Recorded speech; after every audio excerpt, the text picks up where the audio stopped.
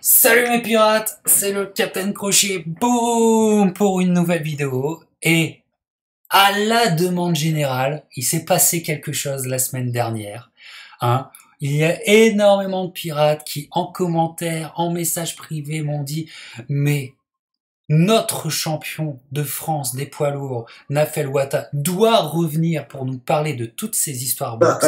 Alors, à la demande générale, je vous ai écouté et Nafel est de retour. Salut Monsieur Wata. Salut Captain. Eh ben, Salut à tous.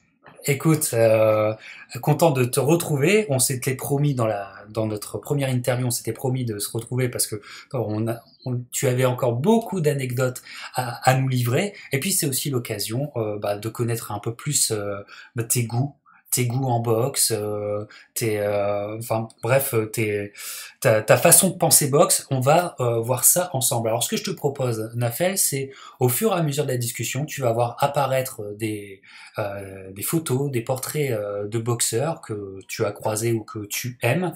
Et, eh ben, écoute, on va simplement t'écouter parler sur eux et pourquoi tu les aimes. Alors, si tu veux, bien, on va commencer avec des, des boxeurs qui, euh, dont tu m'as dit euh, en message que qui t'avaient inspiré, qui t'avaient profondément marqué. Alors, on va aller peut-être avec celui euh, dont tu nous as déjà un petit peu évoqué euh, dans la première émission. Voilà. Alors celui-là, c'est certainement un modèle de boxe pour toi. C'est Gerald McClellan, comme tu le, comme tu le vois. Alors ça, dans ta jeunesse, lui, il t'a profondément marqué?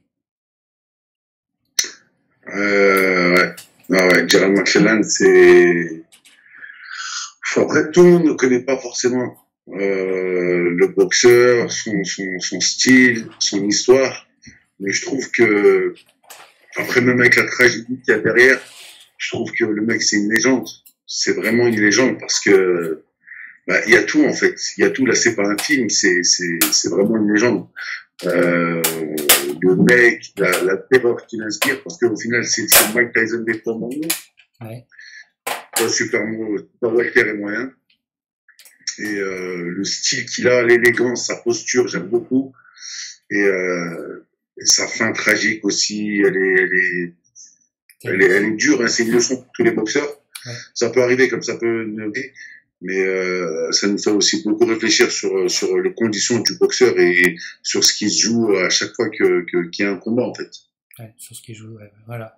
Ouais, et puis il avait tellement une aura. Enfin, on est de la même génération. On l'a vécu. euh, enfin, on a des sou- souvenirs marquants de ça parce que euh, on était à, fond euh, sur euh, sur lui. Et le fait qu'il ait cette aura presque indestructible, il était tellement un gros puncher que jamais on n'aurait pu croire que euh, une tragique aurait pu arriver sur lui finalement. Et ça nous a ouvert les yeux sur euh, sur, euh, ben, sur ce danger absolu qui est de monter sur le, sur le ring.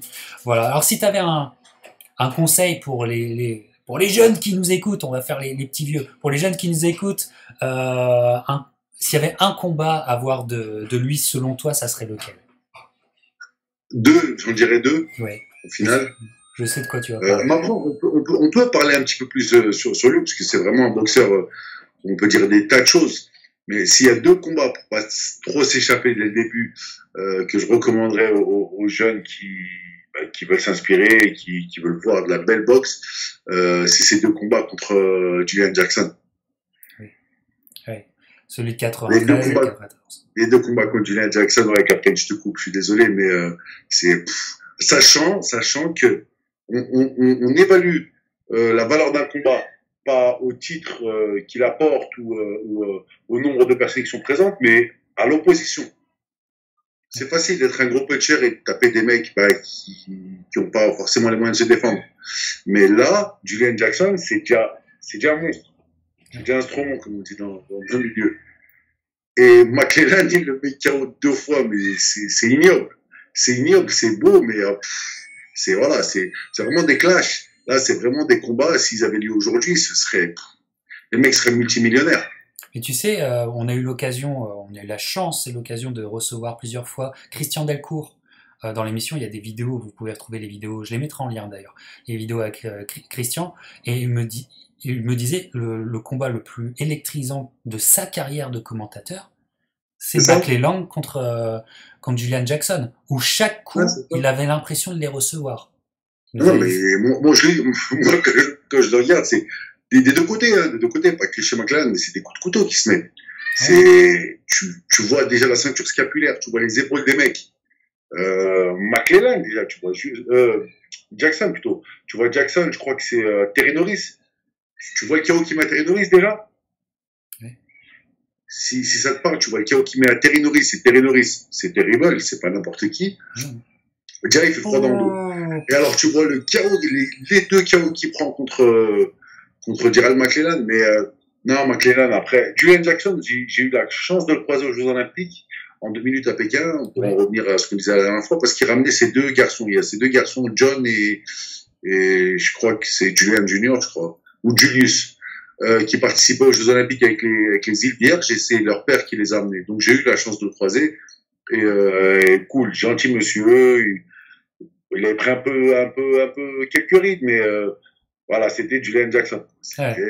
Et des cheveux blancs, il a pris des cheveux blancs aussi ça, quelques-uns. Ouais. Tu vois que le mec, euh, voilà, quoi, il n'est pas, il est pas empâté. Je pense qu'il s'entraîne toujours. Il est toujours costaud. Et, euh, et pour en revenir à McLaren, ouais, McLaren, c'est, c'est costaud. McLaren, c'est Kronk aussi, c'est Kronk de Detroit, euh, entraîné par, euh, par euh, feu Emmanuel Stewart. le short jaune et rouge, voilà, le short Thomas Earl, c'est, toutes ces choses-là en fait que, que les gens regardent pas forcément, mais voilà, ça, contribue aussi. Ouais, ça, contribue à, la légende. Donc ça t'a électro, électrocuté toi aussi devant ton écran quand, quand tu as, découvert ce, champion. Autre, autre euh, champion qui t'a beaucoup euh, inspiré, tu, tu m'en as parlé et on, va en parler aussi, c'est lui. Alors on est toujours dans les féroces, si tu vois ce que je veux dire. Hein Attends. C'est Fernando Vargas. Alors pareil, pareil. Fernando Vargas, euh, ça parle peut-être pas aux, jeunes aujourd'hui. Moi, c'est pile, c'est pile dans, dans, ben, dans l'époque où je m'intéresse vraiment à la boxe, euh, 99, voilà, 90, 99, où j'ai vraiment les cassettes vidéo, j'arrive à, à, obtenir les enregistrements parce que les combats ils passent en décalé en France. Mais euh, Fernando Vargas, c'est une classe, c'est un charisme, c'est indescriptible. Et pourtant, il fait une carrière qui n'est pas très longue au final. très court, c'est une comète, euh, hein, c'est très court. Voilà. Très, court. Euh, à 24, à 24 ans, c'est fini. C'est un peu comme Tyson. Pardon, pardon, tu me disais, Captain Je dis c'est une comète. C'est une comète. À 24 ans, c'est pratiquement fini pour, euh, pour Fernando Vargas. C'est fou. Ah, je crois qu'à je crois qu'à 20 ans ou 21 ans, il est champion du monde IBF déjà. Ah ouais, 20 ans. Mais après, c'est malheureusement aussi, je, parle de ce boxeur aux, petits, aux petits, enfin aux plus jeunes que, que avec qui je parle, pour leur dire voilà, faites attention aussi. Ne jouez pas stratégiquement dans votre carrière, affrontez les meilleurs, on devient champion en battant le champion, il n'y a pas de secret. Mais après, euh, gérez votre truc. Si vous faites des combats durs tout le temps, vous, vous voilà, vous, vous ne perdurerez pas. Voilà. Je pense que tu veux évoquer ce fameux combat de légende contre Félix Trinidad qui a fait que Fernando n'a jamais été le même après. C'est ça. Et c'est, ben, j'en parlais avec un, un, collègue, un autre boxeur professionnel qui est sur Toulouse en France. Euh, on en parlait là cette semaine. Euh, pour moi, hein, pour moi, j'en ai vu des très beaux combats. Après, c'est peut-être parce que c'est là où j'ai découvert, où j'ai découvert vraiment les, les combats outre-Atlantique et, euh, et que je me suis vraiment intéressé, qu'il y avait une dimension avec. Ce combat contre Trinidad, le combat de Trinidad contre Bernard Hopkins, pour moi, c'est le plus beau combat que j'ai vu de ma vie. Trinidad Hopkins? Trinidad Hopkins, ouais. Ok. Ok. La finale, la finale du, du, tournoi des poids moyens. À cette époque-là, il y avait un tournoi des poids moyens. Et ce qu'il faut savoir, c'est que Félix Trinidad, à cette époque-là, c'est le pound for pound. C'est le meilleur boxeur, toutes catégories confondues. Euh, ouais, ouais. Euh, mais euh, euh démonstration de d'Hopkins d'accord avec moi? Ouais, mais juste avant, on revient donc on revient donc sur euh, Trinidad, sur Trinidad Vargas. Vargas, c'est un champion qui monte, il est champion assez jeune, c'est un Olympien. Ouais, non, il fait pas, il fait pas médaille. Je pense pas qu'il fait médaille, mais voilà, il est Olympia à Atlanta, il monte et puis il a un style. les, les, esquives de Fernando Vargas, on le voit en plus dans le combat contre euh, Trinidad. Au premier round, il va au premier ou deuxième, je crois, il va au tapis. En premier, dans les 30 premières secondes, c'est la 30 premières secondes, boum, crochet. Il a, un instinct de survie derrière sur les esquives, c'est impressionnant. C'est impressionnant. Parce que le mec en face, c'est le meilleur du monde. C'est voilà, c'est ce que je te disais tout à l'heure sur Gerald McLaren et Julian Jackson. À ce moment-là, à ce moment-là, c'est les meilleurs qui s'affrontent. Donc, euh, euh, tu peux pas dire ouais non il a eu un coup de chance ou alors non non le mec il est très bon le mec en face aussi est très bon et c'est ça qui rend le truc euh, magnifique euh, euh, à, à, titre comparatif quand on a Mayweather contre Pacquiao bon moi je suis content que Mayweather gagne parce que c'est mes boxeurs préférés mais euh, c'est plus c'est pas un affrontement digne de, de, de Vargas Trinidad ou alors de, de, Hopkins Trinidad ça ça a strictement rien à voir on nous l'a vendu comme le combat du, du, du, siècle, alors que non, moi, pour moi, s'il doit y avoir un combat du siècle, c'est bien euh, Trinidad Vargas. Parce que derrière, si tu te souviens, c'est la, folie, c'est la folie. C'est la folie, ça, ça part, ça part, il revient de l'enfer, il y a des comebacks des deux côtés, il y a des comebacks et tout, le, le final est incroyable. Alors, peut-être petit bémol, petit bémol, parce qu'il y a une, je le redis toujours concernant Trinidad, que j'adore aussi. Moi, je suis de la génération Trinidad, donc venez pas me chercher là-dessus. Mais euh, il y a quand même un bémol, c'est qu'il y a une rumeur persistante autour de Trinidad et de ses bandages.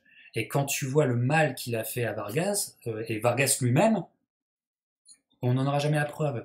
Mais Vargas lui-même dit encore aujourd'hui, c'est clair qu'il s'est passé quelque chose, que quelque chose n'allait pas. Alors ça, c'est pour la petite histoire, mais le combat en lui-même, et c'est une dinguerie.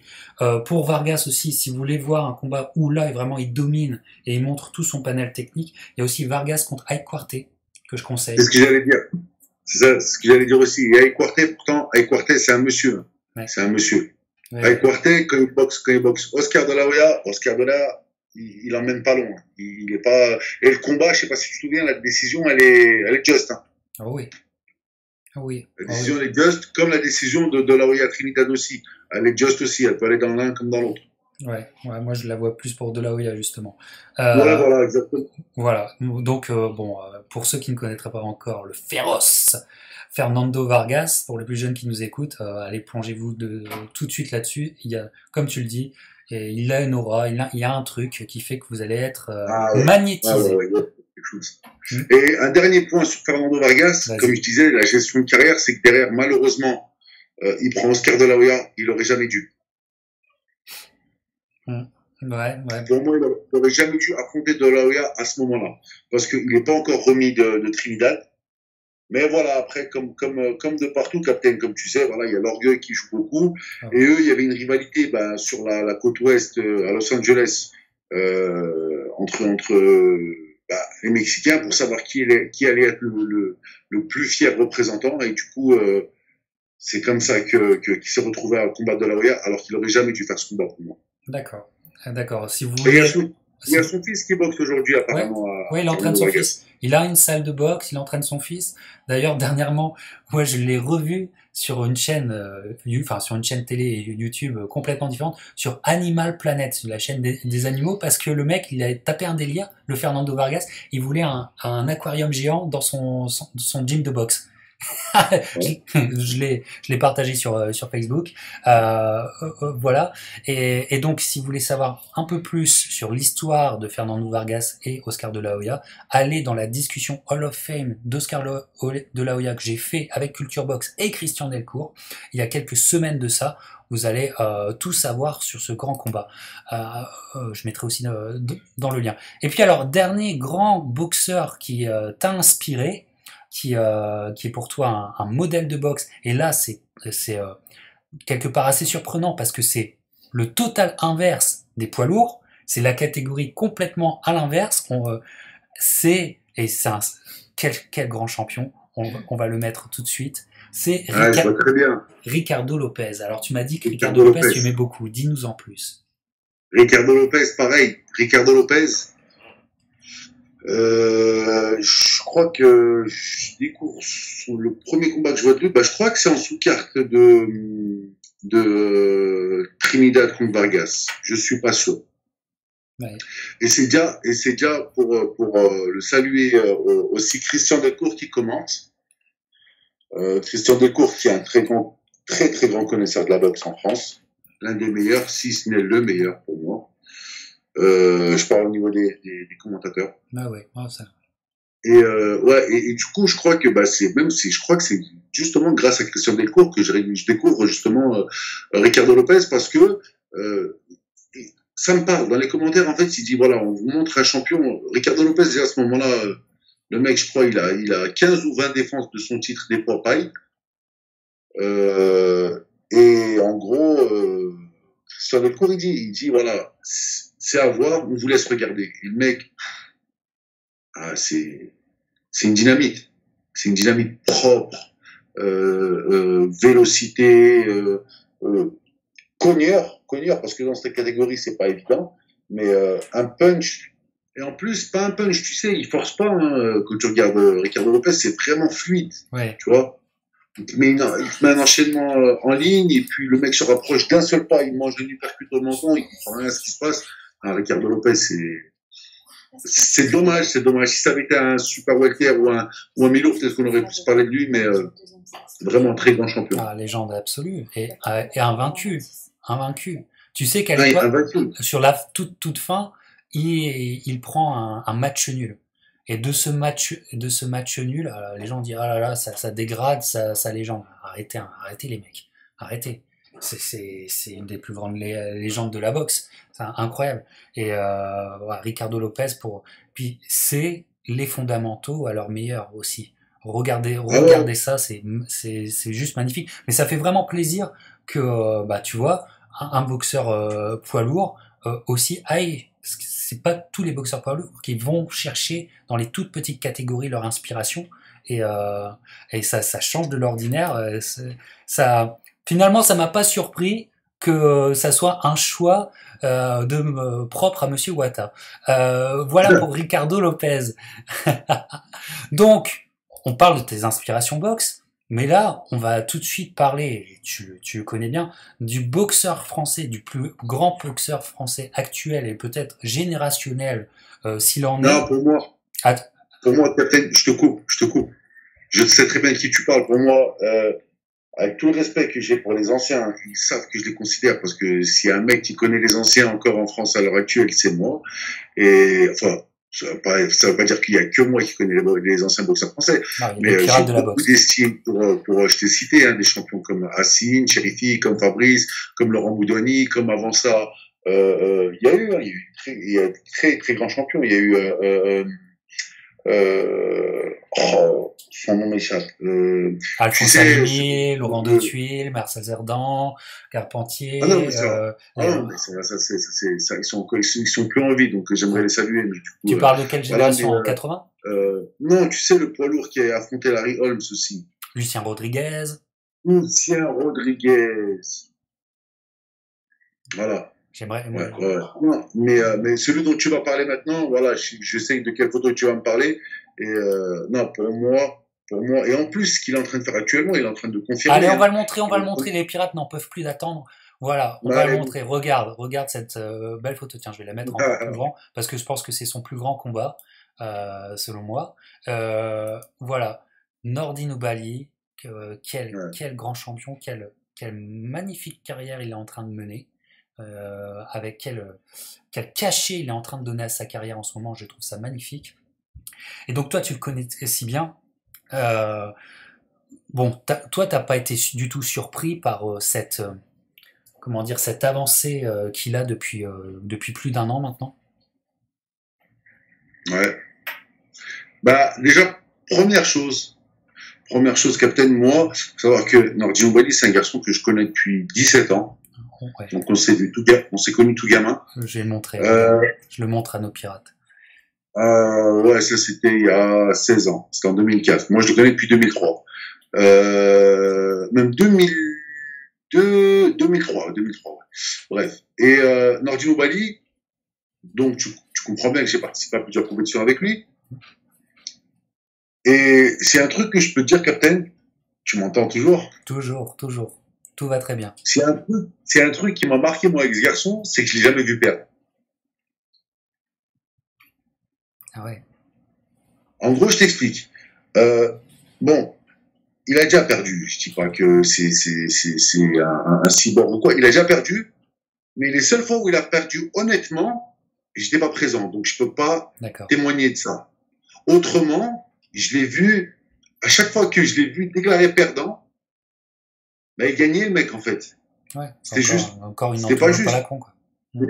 Mais moi après, il sait, il, il sait la relation qu'on a. On- comme je t'ai dit, euh, on, on sait pas, je l'ai pas constamment au téléphone, on s'est quelques fois par message, je l'ai félicité pour la naissance de son enfant.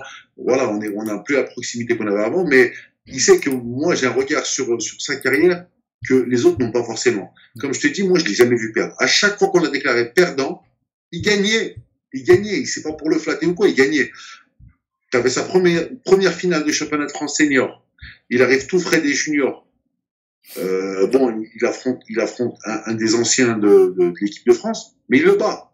On le met perdant. Ok. On va en tournoi international. Je me rappelle en Pologne aussi, pareil. On, euh, on le met perdant.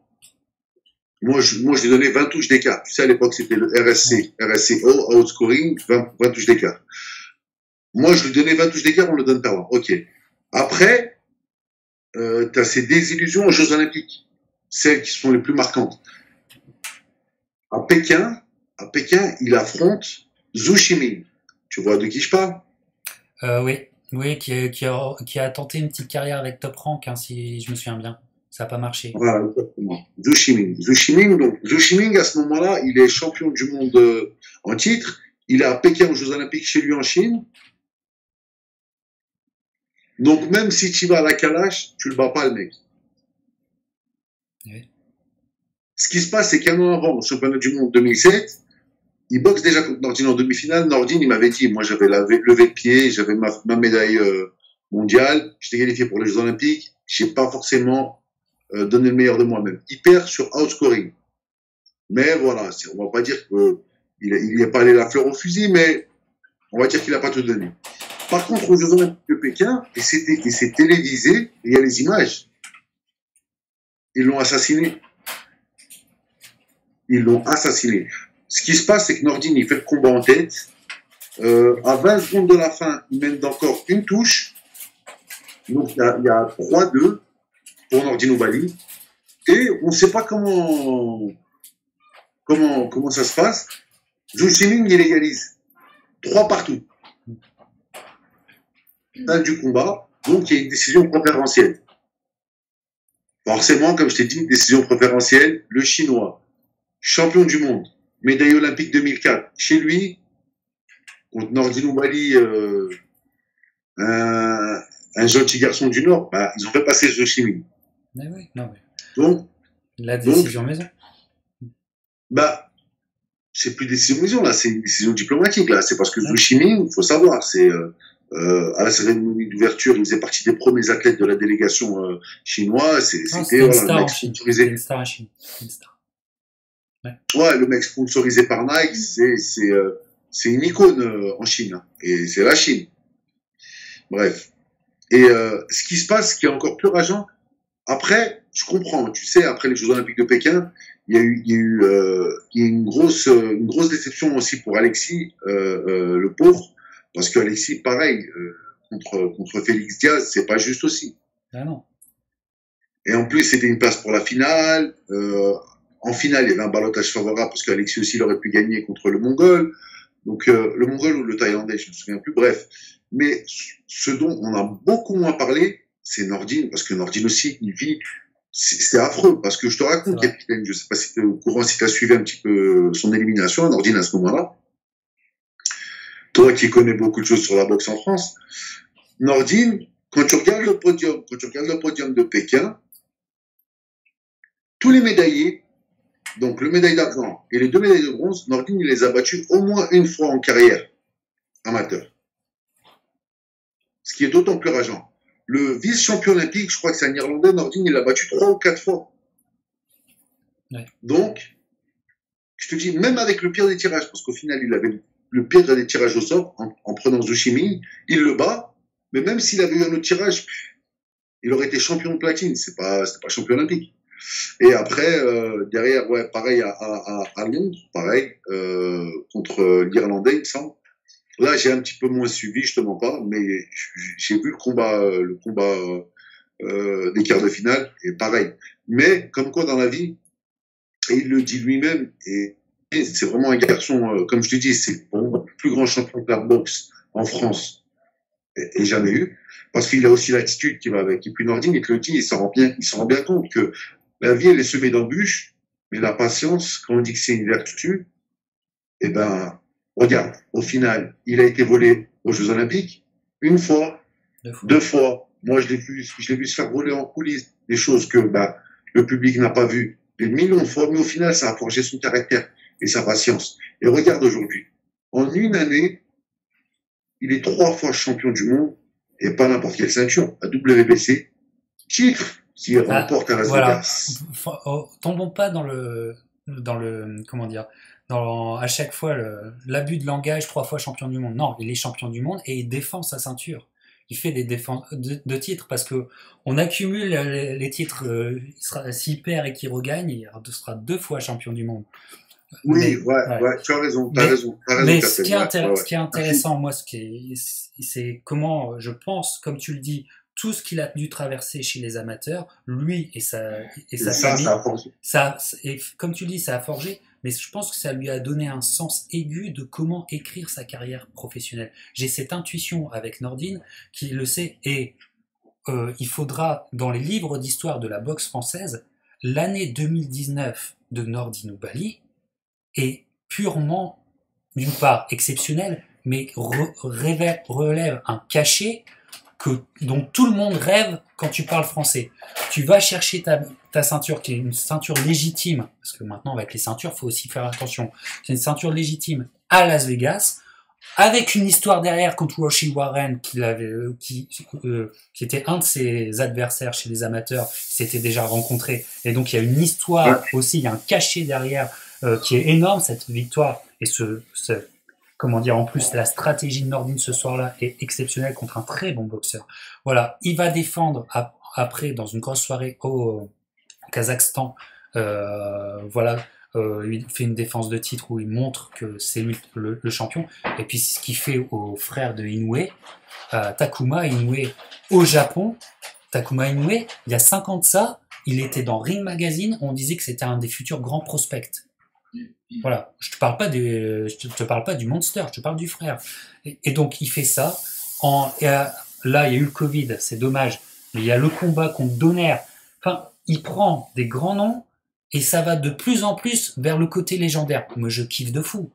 Il nous fait. ah non, mais il est déjà légende. Il, est déjà légende. le mec. C'est parce qu'on est en train de vivre. C'est parce qu'on est en train de vivre euh, déjà, Captain. C'est parce qu'on est en train de vivre. C'est malheureux. Hein.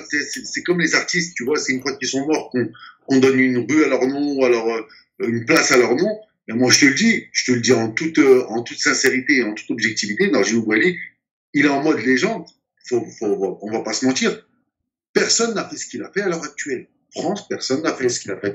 Et avant, je souhaite, j'aimerais qu'on ait, qu'on ait, qu'on ait, qu'on, qu'il y ait une émulation derrière ça, mais avant qu'on retrouve quelqu'un qui refasse ça, là, ce qu'il vient de faire sur une année, ce que tu vas me dire, on n'y est pas encore. Mais j'aimerais que ça, que ça arrive.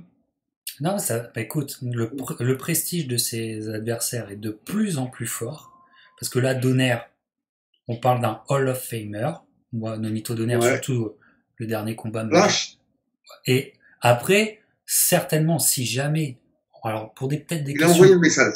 Il a envoyé le message au Monster et euh, Nordine qui va, si si ça se fait, qui défie le Monster.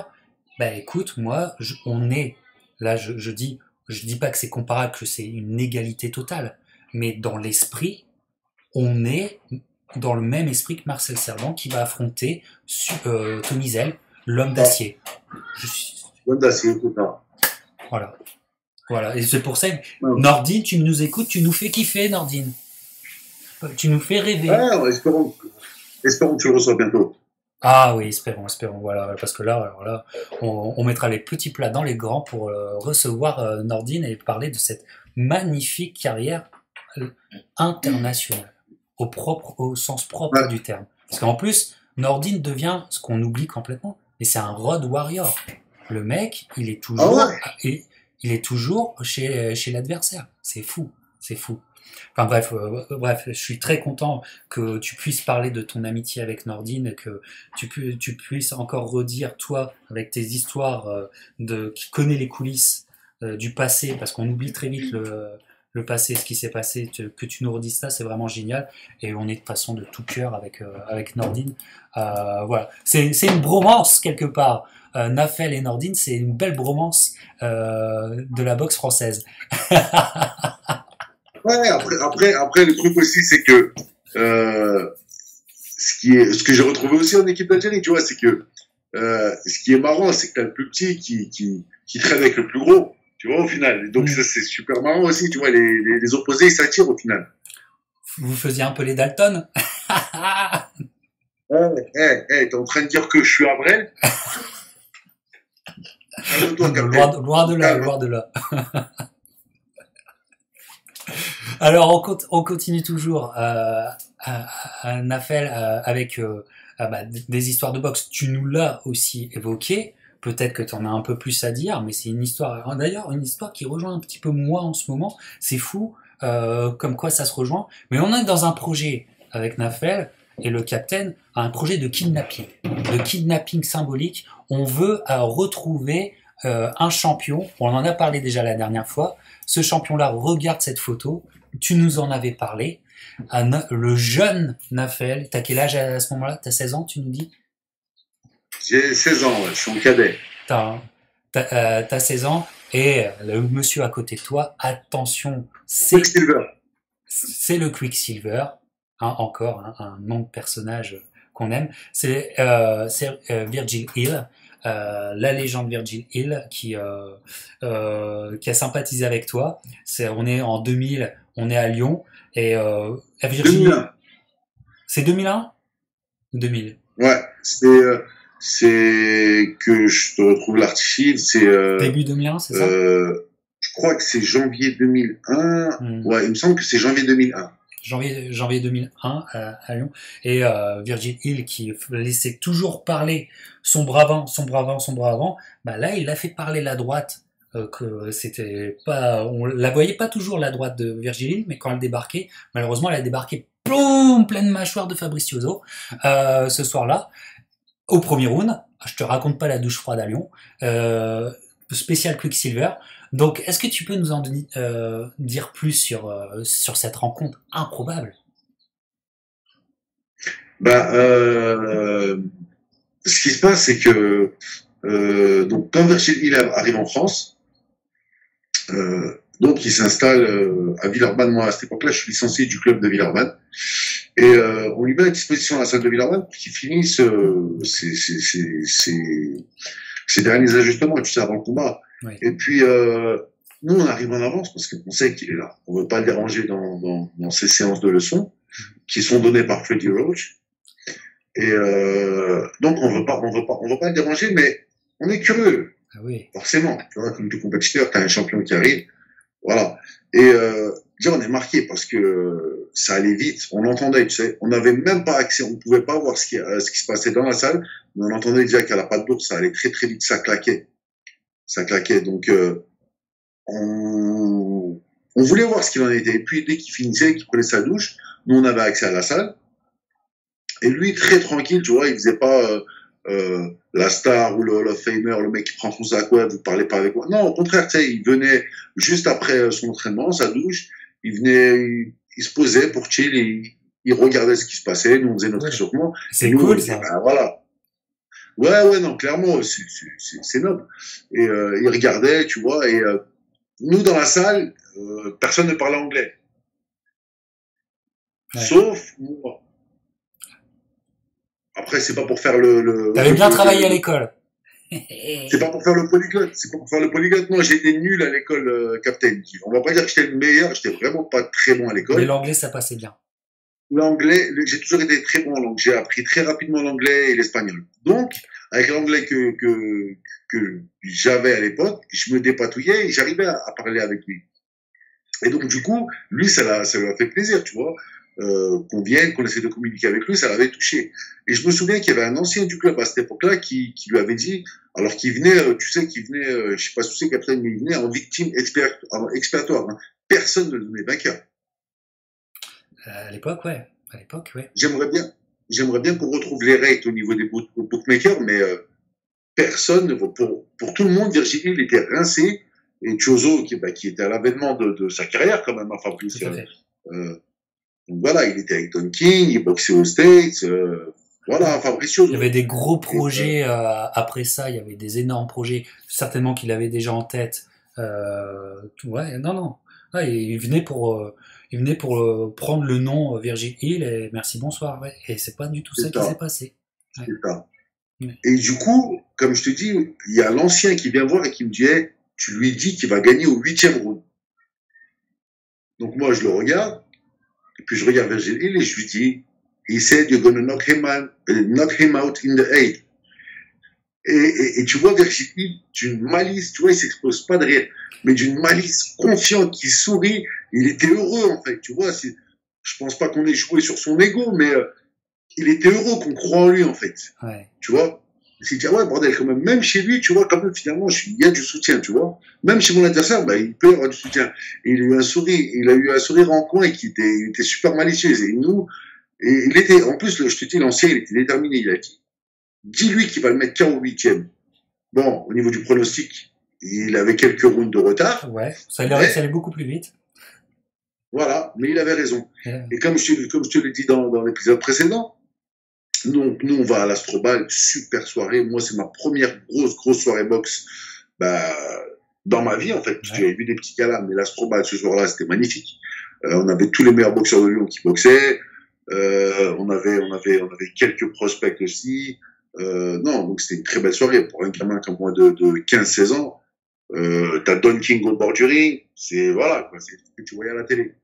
Et euh, donc, on regarde, silence de mort, le combat commence, enfin l'arrivée des boxeurs, euh, du bruit, tout le monde est Chozo, forcément. Et le combat il commence. Et nous on voit que ça va vite, tu vois, on voit que ça va vite, qu'il n'y a pas trop de rounds d'observation. Et, euh, et moi je suis avec deux trois boxeurs euh, professionnels déjà, euh, parce que sachant captain que moi déjà à mon âge, je faisais 1m90 euh, à 15 ans, donc on, on te voyait de loin. Et euh, ouais, donc j'étais avec, les, avec euh, des anciennes, des boxeurs professionnels, on se rapproche du ring parce qu'on voit qu'il y a de la baston. Quoi. Et tu vois Chozo qui tombe. Oh, silence, là, silence radio. Dans, dans, dans l'Astrobal, l'Astrobal, c'est une enceinte Captain qui fait euh, quand même quasiment euh, ouais, entre 7500 et 8000, 8000 places configuration de boxe. Silence de mort.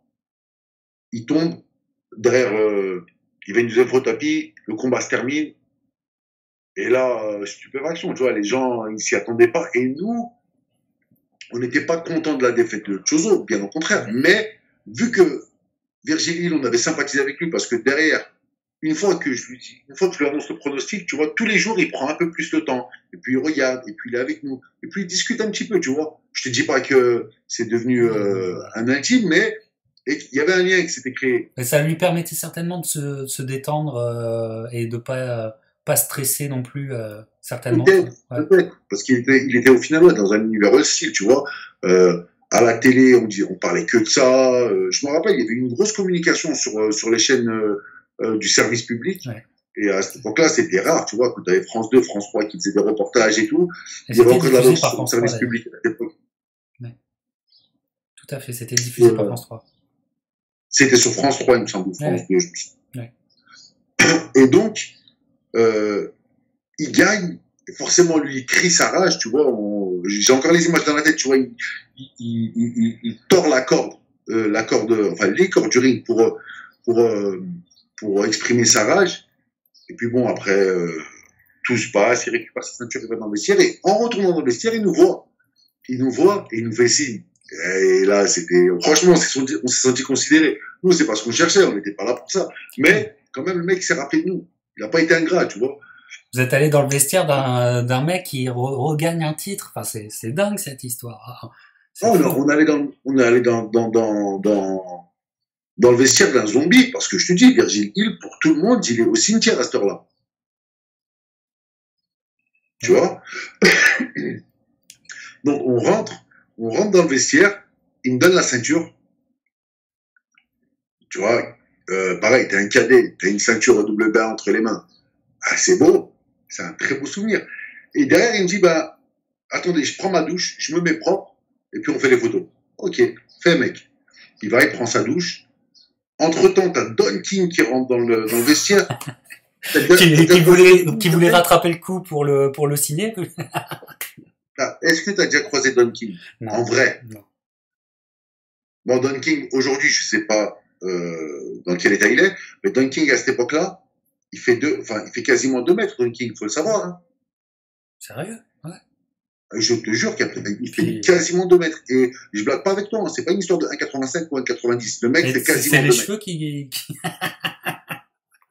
Et en fait, il, voulait, il a voulu parler avec il, donc il nous a décalé avec sa main. Et là, j'ai dit, c'est pas possible, c'est la sécurité qui est en train de nous écarter. Et je te jure que je retourne ma tête, je vois le, la coiffure, là, tu sais, le, le, le- Ouais. L'espèce de, de crête qu'il a. Ouais. Ouais, ah ouais, truc de fou. Truc de fou, et c'était Don King. Donc derrière Virgil, Virgil Hill, donc, sort de la douche, il s'habille. Et là, il nous dit, allez les mecs, c'est bon, on se fait les photos, on prend un petit moment et tout. Et moi, je, voilà, et moi, j'ai le réflexe de faire ce geste-là. Là. En Ouais. gros, je me mets en garde, mais lui, il me dit, c'est pour ça qu'il tire cette tête étonnée. Il me dit, en gros, mais tu veux me cogner, ça y est, je vais me boxer, laisse-moi tranquille. et ouais, non, super souvenir. Ah ouais, non, vraiment. euh, Et euh, on se l'est promis, hein, on essaiera de le, le retrouver, Virgile. euh, Et euh, il est, il est, si c'était possible, ça serait vraiment bien. Voilà, Ah, ça serait vraiment bien. Parce que moi, tu vois, le hasard, alors c'est pas la, la- une aussi belle histoire, c'est juste euh, le, le hasard, c'est que je, je, je vis sur le lieu d'un, d'un, enfin, juste à, à deux pas du lieu d'un des combats de Virgil Hill qu'on oublie, mais c'était un combat de nom quand même, parce que il avait affronté Donny Lalonde, le Canadien Donny Lalonde qui avait affronté euh, Sugar Ray Leonard dans les années, ouais, dans les années 80. Et donc, euh, il- tu vois là, une photo, et, et euh, ils se sont affrontés dans un stade de baseball qui est juste à côté de chez moi. À chaque fois que je que je marche à côté de Ah, ce stade, je pense à Virgil Hill. Je me dis mais il Ah, était bah oui. là, il était là, tu vois, il était juste là, là, là, pas loin, c'est mon quartier là qui qui est, qui est pas loin. Donc euh, finalement, euh, Virgil Hill, il reste toujours euh, toujours dans nos vies, c'est incroyable. c'est incroyable. Mais jambes aussi. Ouais, quelle belle histoire en tout cas que, que tu as eu. Euh, une belle histoire pour un, un, un, un môme, tu as 16 ans, pour un môme qui, est, qui commence dans sa passion. Ça, Ouais, ça, ça te forge euh, euh, complètement. Alors là, si tu veux bien, on va, on va reparler plutôt euh, euh, des lourds. Je vais te, te montrer des, des images et puis euh, je vais te laisser de- développer parce que ça va te donner plein d'idées. Des, des boxeurs euh, que tu connais, euh, que tu as croisés, euh, des combats où finalement tu as participé au training camp. Voilà. Alors le premier, c'est plutôt, c'est un, un portrait, c'est un regard. Tu vas, tu vas me dire ce que tu penses de, de cet homme. On en a déjà parlé un peu dans la première émission. Je sais que tu le respectes énormément. Ça a été un de tes adversaires. Euh, voilà, mais je pense que tu as plus à nous en dire sur lui. Euh, c'est le reptile. Ouais, ouais, bah, Joan Joe passe.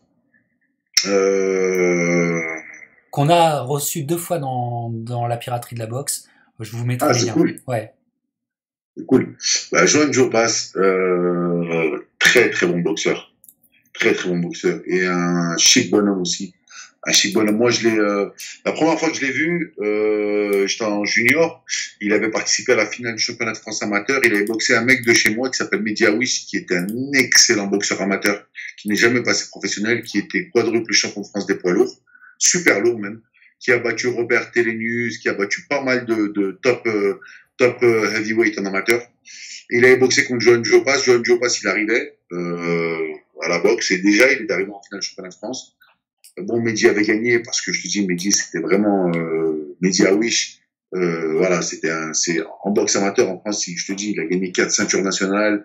Euh, il fait partie de de, de l'équipe euh, pré-olympique euh, d'Athènes en 2004. Il n'arrive pas à se qualifier au jeu, mais pareil, c'est un, un monument. Et après, derrière, Johan, on s'est croisé pas mal de fois. J'ai combattu chez lui euh, en 2008, je crois, en finale de de France amateur. Lui, il était déjà professionnel. Euh, on s'est croisé dans quelques training camps aussi, chez Derek Chisora. Voilà. Et puis, on a, on a, on a toujours eu euh, de l'estime l'un pour l'autre, euh, même, si- même avant de s'affronter. voilà. Euh, donc, euh, ouais, non, vraiment un chic type. Euh, ce qui se passe après, c'est que, comme je t'avais dit, Captain, moi, après, euh, après mon championnat de France en 2014 contre Greg Tommy, et surtout après ma, ma bah, défaite, je sais pas si on peut appeler ça comme ça, tu sais, contre Erkan Tepper, après la désillusion que j'ai eue contre Erkan Tepper, euh, j'ai vraiment, euh, je, je veux pas dire que, que, que j'avais coupé avec la boxe, mais on va dire que j'ai, T'avais eu un, coup, un coup de mou. La même, quoi les perspectives n'étaient plus les mêmes. Il y avait des choses qui avançaient dans ma vie, d'autres qu'il fallait euh, qu'il fallait régler. Et euh, voilà quoi, j'étais plus euh, axé sur la boxe. Malgré tout, euh, fin 2017, euh, on m'appelle, un ami à moi qui qui est dans le milieu de la boxe. son père est entraîneur et lui-même est boxeur amateur. Et il me dit, écoute, je suis en contact avec ce, le manager de Joan Jopas, est-ce que tu aimerais l'affronter? Je lui dis, ouais, pourquoi pas? Mais euh, dans quelle dans quelle optique? Si c'est pour un sirop, pour un combat d'entretien, c'est pas euh, c'est pas ce qui m'attire moi dans la boxe. Il me dit non, écoute, je te dirai plus plus tard. Pour l'instant, il y a rien. C'était en septembre. Bon, après plus de nouvelles. Et ce qui se passe début décembre 2017, euh, euh, le même collègue me rappelle pour me dire écoute, euh, dans neuf jours, duo passe, un titre WBA international, ça te dit? 9 jours. Et moi, 9 jours, ouais, 9 jours, capitaine. 9 jours, véridique. J'ai les emails, j'ai tout. Non, non, 9 jours. Oh, 9 jours. Et je dis, OK. Je dis, OK, pourquoi pas. À ce moment-là, à ce moment-là, euh, moi, je pèse 97 kilos. Mmh. Sachant que mon poids de forme, il est à 110, capitaine. Oh. Euh, mon, championnat de France contre Léonet et ceux qui avaient vu, j'étais à 110. Oui. J'étais même à 112, je crois. Bref. Et euh, j'avais un problème physique à ce moment-là. J'avais un pépin physique, mais je savais pas ce qu'il était. J'étais pas forcément. Euh, c'est pas que j'étais pas au courant, mais euh, c'était pas visible et euh, en fait j'avais un problème organique. Tu vois, j'ai été opéré derrière, mais j'avais un problème organique et je m'en rendais pas forcément compte. C'est et du coup perte d'appétit, pas pas euh, voilà, pas pas de masse musculaire, 97 kilos et puis les images du combat elles parlent d'elles-mêmes. Je suis squelettique à part ma tête et mes poings, on voit rien du tout sur le ring. Donc, on m'appelle, euh, il me dit ok, ça marche. T'es, t'es COP pour toi? Je lui dis ouais, on le fait. On le fait, franchement, c'était télévisé. Euh, Joan Joe passe un très bon boxeur et au final, quand, quand tu es un vrai compétiteur, tu vas affronter les meilleurs. Et Joan Joe passe à ce moment-là, il fait partie des meilleurs, on va pas se mentir. Il avait établi on va, pas, on va pas se mentir. Il sort d'une très grosse performance contre, contre Deontay Wilder, parce qu'il y en a qui disent, ouais, mais il a perdu. Non, mais, mec, euh, il a fait son combat. Wilder, faut voir la tête avec laquelle il est sorti. Il, a, il, a, fait son combat. Mais il, il, sort d'une grosse performance quand il va en Finlande euh, taper euh, Elinus. Aussi, aussi, j'oublie ça. Bravo, Captain. Merci, tu me remontes. Voilà. Mais en gros, ça part, son cheminement, il part de, de Wilder. À partir de Wilder, bah, tu vois, dans la défaite, la défaite, elle peut être très noble aussi. Parce que ça, ça c'est un des grands Merci Nafel, c'est un des grands sujets de la piraterie de la boxe. C'est de dire que en boxe, il y a des, il y a des défaites qui sont des victoires. Il y a des, il y a des défaites qui sont rédemptrices. Il y a des défaites où tu te fais un nom. Mais je vais, je vais, je, veux même aller plus loin dans mon explication, Captain, parce que ça, c'est dans la vie de tous les jours. C'est pour ça qu'on dit que la boxe, c'est une très belle école et c'est l'école de la vie. Euh, euh, la défaite en boxe, elle est synonyme d'échec dans la vie aussi. Tu regardes euh Jaku, le, fondateur de, tu sais le site là, Ali, Ali, Alibaba ou Alibaba. D'accord. Bref, il dit que, il dit qu'en gros toute sa vie il a échoué. Toute sa vie il a échoué. Il a voulu, il a postulé dans des fast-food, dans des, euh, dans des trucs vraiment où, tout le monde était pris et c'était le chat noir à chaque fois qu'il échouait. Mais au final, ça, ça a pas, euh, ça l'a pas empêché de d'être aujourd'hui l'un des hommes d'affaires peut-être euh, les, plus riches au monde. Et on en revient à Nordine Bali aussi. Tu vois, tous ces échecs, et en plus, ils sont pas mérités, mais c'est des échecs quand même au final. Et ben le mec, au final, il va finir en légende. Ouais. Donc, donc l'échec, il fait partie de l'apprentissage. Et c'est moi, je, je, je moi, ce, ce, dont je dis en tant qu'éducateur et en tant que, en tant que bah, tonton et en tant que, que, que proche ou, ou à, tous ceux qui sont autour de moi, je leur dis, mais n'ayez pas peur de l'échec. Il faut, avoir peur de, rester dessus et se dire qu'on est rien. Non, l'échec, il vous fait grandir parce que derrière, vous allez retrouver, je te l'ai dit, Captain, il y a des choses dans la vie que tu retrouves plusieurs fois. Mais la prochaine fois que vous serez dans cette situation, là, vous saurez quoi faire. Et l'échec, c'est pareil. Si tu as perdu, c'est qu'il y a une raison. Et à toi de, de faire ton introspection, de savoir pourquoi tu as perdu. Alors, le, le, combat qui a été un combat. On revient, on en revient au combat. On en revient au combat. Donc, neuf jours avant, on m'envoie le contrat, je signe. J'ai fait un sparring pour ce combat, Captain. J'ai fait un sparring de 8 rounds contre un ami à moi qui s'appelle Jérémy Monaco, euh, qui est vers chez moi, qui pratique euh, bah, tous les sports de combat, le mec il est partout. Bref, et super sympa. Il me donne un coup de main, il me dit écoute, on met les gants, vas-y. Et euh, on fait un sparring. La semaine d'avant, je boxe le je boxe le jeudi, je crois, Je crois que le jeudi d'avant, on fait un sparring. Ça se passe relativement bien. C'est pas un sparring où, où euh, on a mis la gomme parce que le but c'est pas de se blesser aussi, quoi. Donc je fais mon sparring, je rentre chez moi, j'attrape froid. Le vendredi, j'attrape froid. Donc il reste euh, six jours. Je tombe malade. Je finis sous antibiotiques à cinq jours du combat. Ma famille me dit, n'y va pas, on pas risquer ta santé. Et moi, c'est un truc que je veux pas, c'est inquiéter ma famille. Mais je me dis, je, sens malgré tout que faut que j'y aille. Faut que j'y aille. Donc je me dis, je vais y aller quand même. Parce que d'une, j'ai donné ma parole à, à Joanne et à son team, et que lui, bah, pour eux, c'était un événement parce qu'il n'avait pas boxé en France depuis ses grosses performances à l'étranger, et parce que moi aussi, c'était l'occasion bah, de, de, pas de me faire montrer. Je, je suis pas là. Je suis, non, non, mais si, c'est une occasion à pas rater. Hein. Sur le plan français, c'était important, tout à fait. Voilà, mais de me faire kiffer parce que combat retransmis en direct à la télé contre un adversaire de renom, c'est magnifique. c'est magnifique. Donc on y va, je fais la pesée, et puis à la pesée, voilà, à la pesée, il euh, n'y euh, a pas de trash talk, bien au contraire, il y a beaucoup de respect. Euh, donc je suis pesé à 80 kg, à 97 kg, lui à 114, il me semble. Et le lendemain, on fait le combat. Le lendemain, on fait le combat. Et euh, bah en fait, je, je sais pas quoi dire moi, Captain, sur le combat lui-même. Bah, je sais pas. Je pense que tu l'as vu. J'invite les gens peut-être à regarder. Vu les conditions, c'est pas mal. C'est pas mal ce que tu as sorti vu les conditions. Ouais, voilà. À titre personnel, je c'est vraiment pas un combat qui me fait kiffer. Hmm. Mais de, de, ce que les gens ont dit, bah, ils me disent qu'en gros, euh, c'est un truc de fou, que, bah, ce qui est dommage, c'est que au, final, comme, tu dis, la boxe n'est pas assez médiatisée en France, c'est que au final, on peut voir que bah, y a deux poids lourds qui peuvent offrir un très beau spectacle. Mais on s'en rend pas compte. Et du coup, le combat se passe.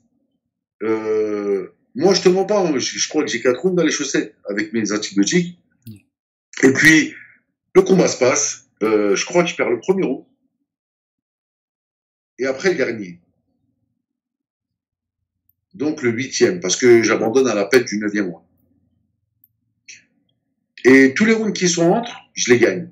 Selon le pointage WBA, c'est pas un truc que je te sors comme ça, Catherine. Attention, hein, c'est pas, euh, c'est le pointage WBA qui Et euh, moi, ce qui se passe, c'est qu'en fait, je veux pas dire que c'est un sparring, parce que pour moi, il y a une ceinture quand même à la clé, et euh, voilà, je viens, tu, fais jamais un combat sur chez les poids pour rigoler. Mais pour moi, c'est plus, euh, comment dire, pas un sparring, mais en fait, pour moi, il y a pas, j'entends pas le public.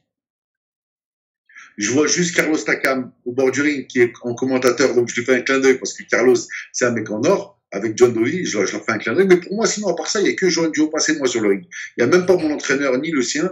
En gros, si on est là, euh, on se tape dessus et puis on verra ce qui va se passer.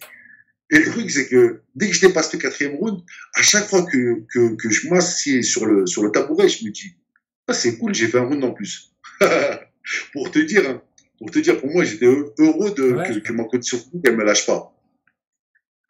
Mais en face, t'as un mec, ben, t'as un mec qui, qui, qui connaît pas la marche arrière, hein, pas se mentir. Euh, on l'a vu même contre Wilder. Euh, il connaît pas la marche arrière, il avance, il avance, et à un moment, moi, je peux plus. Et à un moment, moi, je peux plus parce que d'une, je suis pas préparé. De deux, bah, je suis encore, euh, je suis encore euh, pas contaminé, mais j'ai encore des antibiotiques euh, qui, qui, qui, sont en train de travailler dans mes veines. Et euh, je suis juste fatigué, en fait. Ouais. Je suis juste fatigué, et tu le vois. Euh, au, à la fin du huitième round, bah, je mets les genoux à terre parce qu'il met trop la pression et que moi je suis pas prêt pour ça au final. Et puis après je rentre dans le coin.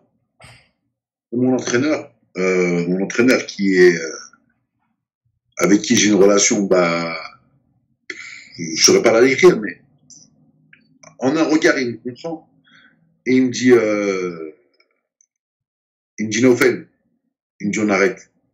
Il voit que j'acquiesce. Parce qu'en fait, il sait que, et de lui et de moi, il n'est pas en train de me donner un ordre. Il fait ce qui est bon pour moi. Et moi aussi, je sais que, pourquoi finir les bras en croix, sachant que j'ai fait un super combat. Je suis plus en mesure de tenir debout. Ouais. Je vais pas jouer avec ma santé. Ben non. Non. Tu vois? Si tu prends, si tu prends un, si tu prends un, comment dire, un, oh, j'ai oublié le mot, Captain, aide-moi. Si tu prends un, pas un lucky punch, mais, euh, mais Ouais, tu sais, un un- sale coup, un rabbit punch ou euh, quelque chose comme ça. ça. Non, si tu prends un coup qui t'envoie direct euh, au tapis pour le compte, bon, ça y est, c'est fini. Merci, au revoir. On a été à la lumière. Chez les poids lourds, c'est tout à fait normal. Il n'y a rien de, de, il y a rien de honteux là-dedans. Les poids lourds, on les aime même pour ça. Tu te souviens ce qu'on disait? Ouais. Mais là, non, dans la situation, je suis encore lucide. Physiquement, je suis plus là, mais mon cerveau, il, fonctionne encore. Non. T'as fait 8 rounds, mec. T'en as pris 6.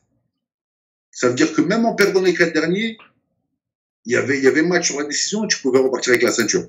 Mais, un très bon adversaire en face de toi. Ouais, mais faut pas, comme tu le dis, faut pas que tu réfléchisses comme ça parce que faut, tu, ça, ça, ça c'est dans un idéal. Si t'avais, si t'avais tout été, c'est- c'était goupillé de façon parfaite. Oui, là tu peux penser à, attends, je vais chercher la ceinture, je vais chercher la victoire. Mais vu les conditions dans lesquelles t'étais, ton, ton exploit sportif, tu le fais. Tu vois? Voilà, tu, le fais. moi que je te dis, c'est- Voilà, mais c'est une question, c'est une question de lecture du moment, de euh, du moment et des et des vrais euh, des vraies choses qui sont passées à ce moment-là. C'est pour ça qu'on t'invite, c'est pour ça que tu pour que tu nous les racontes et qu'on ait une meilleure perspective. Merci, Captain. Mais, et en plus, c'est très bien que tu dis ça. Et une chose sur laquelle on va revenir aussi, parce qu'au final, tu vois, euh, les boxeurs me marquent, mais je m'intéresse à leur histoire derrière aussi. Oui, Euh, les gens, ils vont dire, tu sais, euh, deux fois j'ai abandonné dans ma carrière. Deux fois. J'ai perdu trois fois, j'ai abandonné deux fois. Une fois contre Erkan Tepper, parce que j'ai la main bousillée. Mm. Et puis derrière, ben, on apprend ce qu'on apprend. Donc au final, euh, c'est moi qui suis vainqueur, quoi qu'on dise de, de, de cette histoire. Ouais. Parce que même dopé, mec, t'es pas arrivé, t'es pas- même dopé, t'es pas arrivé à m'assommer. non, non, non. Et puis de toute façon, il y a une, faut une- il y a une reconsidération à faire aussi sur euh, l'abandon. Et de toute façon, ça se voit quand tu quand as un peu de connaissances, que tu connais un petit peu. Il y a, y a des abandons qui ne, qui ne se ressemblent pas. T'as, t'as l'abandon, euh, le mec euh, à la Bruce Seldon, le mec n'a pas été touché, ça s'allonge directement. On parle, on, parle pas de ça. Moi, tu sais, il y a un abandon que j'aime beaucoup parce que, euh, comment dire, on n'est pas allé trop loin. Le mec a tenté, il a montré des belles choses, il, il, il a montré aussi ses limites. C'est par exemple Willie Monroe Jr. qu'on a reçu dans la chaîne contre Triple G. Quand il a sa chance contre Normal, Triple G, normal. et, et, Normal. et à- au bout d'un moment, voilà, tout a été dit. Oui, c'est une sorte d'abandon, mais franchement, c'est un des abandons où moi j'applaudis. Euh, Ça sert à rien d'aller euh, au- au-delà. Clairement. tout, tout a été dit. Donc euh, c'est ce genre d'abandon qui est tout à fait, euh, tout à fait respectable et que tu as vécu et qu'on maintenant on comprend mieux euh, que tu nous as expliqué. Mais comme tu nous le dis, ce qui est, ce qui est dingue encore une fois, ce milieu des poids lourds est dingue parce que vous affrontez sur le ring, mais vous êtes aussi partenaire d'entraînement pour d'autres grandes stars dans des training camps. C'est que avec euh, avec euh, Johan, tu as été partenaire d'entraînement pour le- pour un training camp de Derek Chisora. C'est bien ça. hein ça. et tu peux, alors ce. Derek Chisora, tu peux nous en parler parce que c'est un personnage. Euh, ce training camp, ça a été quoi? C'est un affreux personnage que, qui, est, euh, au, fi- au final, vous a montré un peu de respect à la fin? Juste pour finir, juste pour finir, Oui. Captain, par rapport, à- à- par rapport au sujet de l'abandon, moi, la chose qui me marque, après, je te dis, hein, c'est c'est déjà plus que, plus que, comment dire, plus que dingue ce que j'ai fait pendant, pendant huit rounds. Parce que je te dis, pour moi, au, quat- au quatrième, j'avais plus rien dans les chaussettes. Ouais, tu t'es Le truc, c'est que, comme je t'ai dit, on apprend, on apprend, pour celui qui veut bien apprendre, de, de, des, du passé. Et moi, pour finir comme Gerald McClellan, mais même pour, euh, je sais pas, même pour une WBC diamant, ou même non. pour le million de dollars, non, Non. même pour Non. un milliard. Non, non, non, non, absolument pas. Oui, oui. Ma santé, elle a, ma santé, elle a pas. Ouais. Eh oui. J'ai montré, j'ai montré que j'étais là pour me défendre. Je suis pas venu pour pour euh, pour, euh, servir de de de, de pièce de pièce de, de, de boucher et, et, et, repartir. Non, non. Et d'ailleurs, après, pareil, hein, on a un petit big up. Je vais le lancer aussi parce qu'on est en ligne. Euh, quand j'ai battu Cyril Léonet la dernière fois au mois d'octobre, j'ai annoncé, pareil sur les antennes des RMC Sport, que je voulais ma revanche contre Joan Duopas. Ouais. Ouais, Je pourrais, je, je Et- peux perdre, hein. et, Je peux euh, perdre, mais les conditions ne sont pas les mêmes. Ouais, et Johan Diopas qui avait un petit peu, lui aussi, comme tu l'avais fait avec Cyril, qui pour ce dernier combat euh, contre toi, il avait essayé un petit peu de. de... Il était dans le coin, c'est pour ça que j'allais Voilà. profiter en plus. Bah, Voilà. Après, c'est pas. Voilà. Il sait Mais, bien pas. moi, j'ai entendu un, un- une interview de Diopas où en fait il montre beaucoup de respect parce qu'il évoque ce combat de, de Cyril en lui disant bon la stratégie qu'on avait euh, forcément c'était une ra- stratégie euh, rentre dedans parce qu'en face on avait un mec qui avait les skills et le en face c'était toi c'était de, de, de toi dont il parlait donc euh, Ouais. ça il te, le, il te le reconnaît aussi mais espérons espérons que cette revanche arrive ça serait génial ça serait euh, ça serait génial l'histoire n'en serait que plus belle voilà c'est donc le message est lancé. Hein, euh, le reptile, on sait que tu, euh, tu nous regardes, t'as un ami à page, donc euh, voilà. Et il faut le faire pour le bien des poids lourds français, parce que c'est vous qui faites vivre, qui faites vivre cette scène. C'est une scène et vous la faites vivre. Alors, parle-nous de Derek Chisora et après j'aurai un autre training camp où je voudrais, voudrais t'en parler. Ouf, désolé. On a eu un petit, euh, problème. Euh, ouais, donc Derek Chisora. Derek Chisora, euh, faut savoir que j'ai fait quatre, euh, quatre training camps avec lui. Derek Chisora, je l'ai préparé pour ses deux combats contre Tyson Fury, pour son combat contre Robert Elenius. Et en fait, c'est là dont on parlait la dernière fois. La, la- le, le déclin de Robert Elenius, c'est quand il a battu Derek Chisora, mais il n'avait pas battu Derek Chisora. Euh, on lui a donné la décision, mais il avait perdu clairement contre Ouais. Derek Chisora. C'est moi qui l'avais préparé à ce moment-là. Et Derek Chisora, je l'ai préparé aussi pour son combat contre Vitaly Klitschko. Donc t'as une sacrée, t'as une sacrée euh, relation quand même finalement avec lui. C'est pas. Bah, Non? ouais, on se connaît. On se Mais connaît. je le boxe aussi. hein. Et en plus, j'ai demandé, hein, j'ai appelé son ancien entraîneur, Don Charles, qui est un mec en or, qui ne s'occupe plus de lui aujourd'hui. Je lui Ouais. dis, s'il y a moyen de boxer Derek, je suis là. Ouais. Ouais, Derek Chisora, c'est avant tout le, le projet, euh, enfin, c'est avant tout le, le travail de cet entraîneur. Tu, tu fais bien de le dire. Euh, Ouais, Don, Don Charles, ouais. Ouais, c'est vraiment un chic type, c'est vraiment un gentleman, Don Charles. ouais, ouais, et, euh, mec balèze et tout ça, euh, une Ouais. carrure. Et, et, et tu, je sais pas si tu te souviens, pour la petite histoire, tu sais, quand il y avait eu la conférence de presse avec David Hay, Ouais.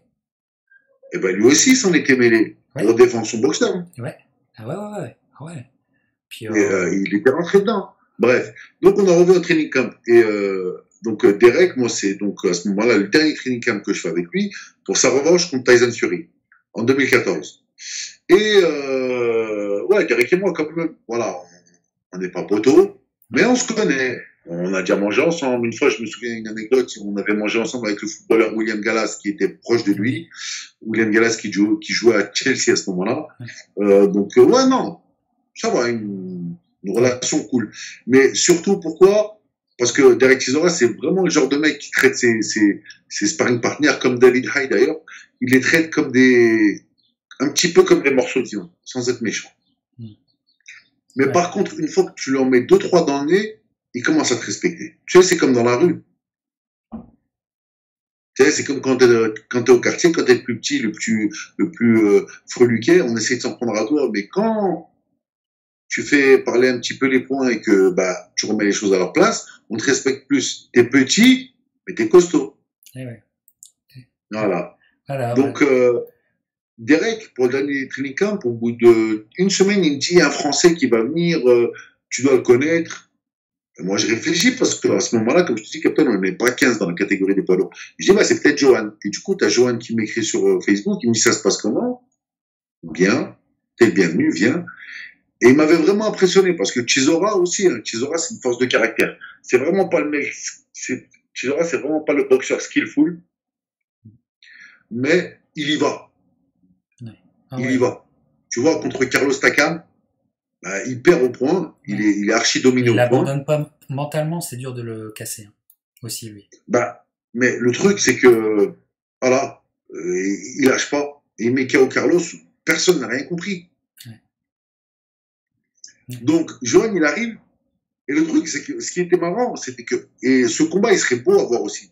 C'est un match, ce serait un match-up à voir. Johan Joe passe contre Derek Chisora. Parce que les deux, ils reculent pas, ils veulent pas reculer. Ouais. Même si Johan est beaucoup plus beau, et c'est un boxeur. C'est pas, c'est pas Derek Chisora. Mais le truc, c'est que Derek Chisora, il me regardait, il me disait, oh, il y va quand même, tout copain, là. Parce que moi, avec Chisora, c'est vrai que j'étais plus, bah, comme tu me connais, euh, Captain, sur les jambes, tu vois, les skills, euh, les esquives, tu vois, bouger un petit peu le coup d'œil, que Johan, non, il y allait, il y allait clairement. Et l'autre, il avait pas l'habitude d'avoir des vrais sparring comme ça qui, qui, en gros, qui le faisaient reculer. Ouais. Et va faire reculer Derek Chisora, je te jure que c'est pas facile. Putain, et toi, t'as vu ça, t'as vu des feux d'artifice alors, à mon avis. Ah, mais moi, j'étais au bord du ring, moi, Ouais, non, ouais. moi, moi, moi, moi, je dis, c'est, c'est pour ça que je te dis, même le jour où je, où je rencontre Johan Joe je sais qu'en face, euh, en face, le mec, bah, tu, tu vas pas le faire reculer comme ça. Tu m'étonnes. Alors, en parlant des training camps, tu as participé à notre training camp d'une star qui a tout changé ces dernières années euh, dans, dans le monde de la boxe. Il- Voilà. Donc, tu peux peut-être nous parler plus des, des coulisses de finalement d'une date qui restera dans l'histoire des poids lourds. Euh, euh, c'est ça, je te mets tout de suite l'affiche. T'es du côté de Fury quand il se prépare pour Klitschko. Ouais, bah, pareil, on a, on a une super anecdote aussi. Et je t'en ai parlé un petit peu la semaine dernière. C'est que, je suis contacté, du coup, pour, pour aller à Bolton, pour préparer Tyson Fury, pour son combat contre, euh, contre Vladimir Klitschko. Et moi, je le connais pas, Fury, à ce moment-là. Je le connais pas. Je le vois un petit peu en conférence de presse, tu sais, dans, un petit peu dans les médias et tout. Le mec, il, je sais pas, il, il me vend pas forcément du rêve, Ouais, tu vois. ouais. À l'époque, moi, pareil. Mais il est, il est, euh, il est skillful, même s'il a, il a pas, même si c'est pas un bodybuilder, je reconnais ses, ses, ses, ses qualités en tant que boxeur. Mais sinon, tu sais, sur son, je trouve qu'il parle un peu trop. Et il a pas battu Klitschko encore à ce moment-là. Donc, ce qui se passe, c'est que je vais à, je vais à, à Bolton.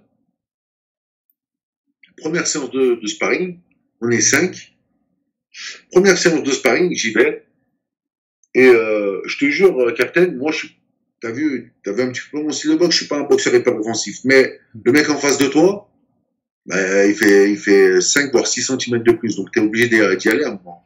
Et en fait, je fais un, je fais un faux pas, tu vois, j'avance. J'essaie de me mettre en offensive. Et je remarque pas, mais j'ai ma main qui se baisse. Je le fais une fois, la deuxième fois, Tyson, il me touche sur un cross, mais il le, il, il le lance pas, euh, Full power. plein fer. Hmm. Il le lance pas, voilà. Et le truc, c'est que je suis déséquilibré. Et là, un truc que je que j'oublierai jamais, c'est qu'il me regarde et il me dit, même lui surpris, hein, et son oncle, euh, Peter aussi, le père de Yui, tu sais qui t'entends oh, et tu vois, je suis déséquilibré. Et Tyson, il me regarde, il me dit ça va? Alors que si ça avait été un autre, il m'aurait achevé. Et le mec, il me regarde, il me dit ça va? Je lui dis ouais, ouais, ça va. Tu vois, moi, je fais l'orgueilleux. Ouais, ouais, ça va, continue. Et il finit le round et il fait attention, tu vois. Et je te dis pas qu'il a, il a fait du shadow, mais il a continué. Mais il était, euh, il était, euh, Hmm. franchement, voilà. Déjà là, ça m'a donné un aperçu du mec. Euh, ce qu'il faut savoir aussi, c'est que il a une très bonne condition physique. On était cinq sparring. À chaque round, il changeait de sparring, captain. Ah mais ouais, fa- euh, de toute façon, vu la, la stratégie qu'ils avaient mis en place, il fallait qu'il ait le, le, le cardio de sa vie hein, ce soir-là. Et, et, et, et le truc, c'est qu'il faisait pas 8 ou 10 rounds. Il faisait 15, entre 15 et 16 rounds sur la pointe des pieds. Impressionnant. Ouais. Ah ouais, ouais. Et après, et après, doucement, doucement, doucement, j'ai commencé, bon, à m'adapter à, à, à son style. Et je te dis pas que, je veux pas dire, ouais, il y avait domination ou pas domination, Mm. mais il y avait match. Entre lui et moi, il y avait match. Mm. Et le truc, c'est que, euh, moi, j'avais sympathisé avec son père, John Fury. Oui. Ah, Qui est, Quel personnage ah, Moi j'adore, je ah, kiffe, mais- je kiffe. c'est tonton. Je vais, c'est tonton. John Fury, c'est un, laisse tomber. Et- comme ça, you know. tu sais que C'est- le, c'est le, le sosie de mon père. Je te jure. Ah, putain. je, je fais un transfert sur lui, mais grave. Grave. Ah, là. C'est vraiment un chic type. hein. c'est Ouais, vraiment ouais. un chic type. Et ce c'est une légende, hein. C'est une légende de la boxe en Angleterre, hein. De la boxe que, Ah ouais tu sais, les, les combats, même les combats clandestins qu'il a fait et tout ça. Knuckle, c'est le, euh, Knuckle Bar, c'est ça? Ouais, ouais, non, mais c'est une légende, chez les gitans, c'est une légende, le mec. et, euh, et, et je vois que le mec, il s'approche de moi à chaque fois, à chaque séance d'entraînement, et il tient à, à lui s'occuper de moi, et tu sais, il m'enfile les gants, et euh, la vaseline, et à chaque fois, je vois qu'il vient vers moi. Cool. Moi, je, putain, ça me fait plaisir quand même. Ouais.